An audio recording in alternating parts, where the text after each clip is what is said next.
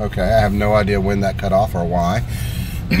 but just gonna make the spicy Thai noodles tonight. No idea.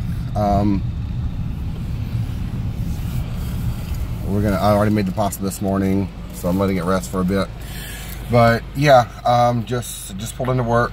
I just gotta run by the store tonight and grab some veggies because any excuse to get more vegetables in you, honestly, is a good one.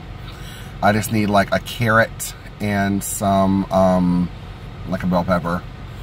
And I know I have cilantro already, and I have limes. So, yeah, gonna look for some uh, chili paste, which I know I don't have any, but I think I know I don't have.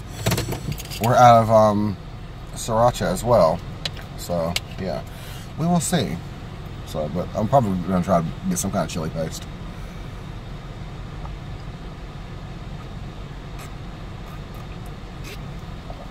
The last the coffee, you saw go down my chin. but I'm at work. I'm gonna head in now, and I will see you guys tonight.